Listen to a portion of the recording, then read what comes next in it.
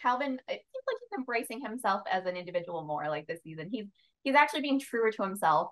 Um, which leads to like, you know, Keefe and Kelvin defining their relationship a bit. Uh, we get to see them kiss in the end of the season.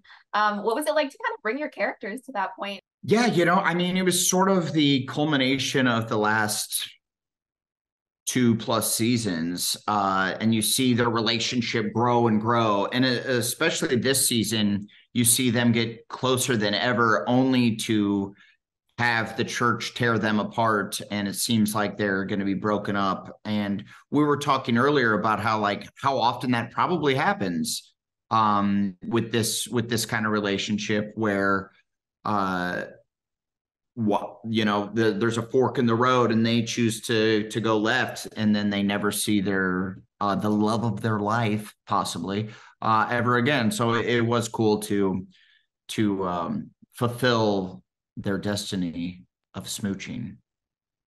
Yeah. Yeah i think i i, I think i'm really curious too you know danny's such a genius like i don't even want to like ponder it. I mean i think there's there's a world still where like they're so new to this that it might still be like you know let's uh let's go to top golf and like there's you know there's like they're still discovering what this is and what it means because I still feel like they're very inexperienced entirely. So I think inexperienced is especially for Kelvin, inexperienced, I think sexually just in general.